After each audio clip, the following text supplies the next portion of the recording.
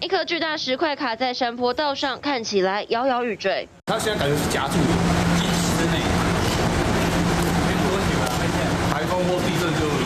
让人绷紧神经，因为山坡下方就是台铁和仁车站。台铁东镇线和仁隧道北口四号早上发现有落石，直接砸断铁轨，七正线改为单线双向通行，不止影响列车误点，最快要到隔天早上首班车前才会抢通。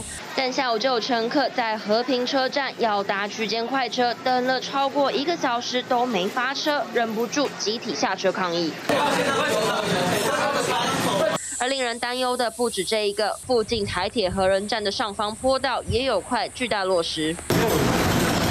余震加上连日大雨，花莲不管是公路还是铁路，都频繁有土石流或山崩的状况，相关单位也将要加强防范。而同一天铁路出状况的还有这里。